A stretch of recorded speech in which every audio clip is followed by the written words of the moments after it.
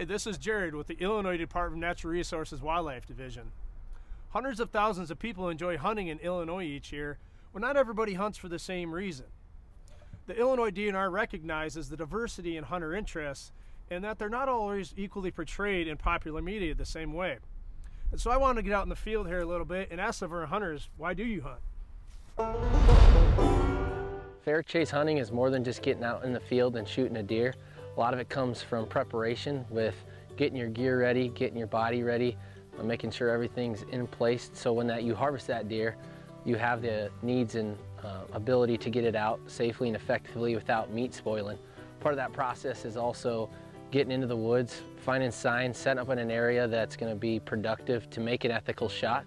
If that's uh, getting in a tree stand, making sure you have those safe lanes that you can put that shot in the vitals and make it a quick, clean, ethical kill so that way you can harvest that meat for consumption purposes later. Also, when you're out uh, shooting a deer and you get done, making sure you have the tools you can to field dress the animal to make sure that meat doesn't spoil and get it out and get it to the table as soon as possible. Take it from our hunters. Hunting is a great way to get outside, enjoy the outdoors, see some things in nature you probably wouldn't otherwise see.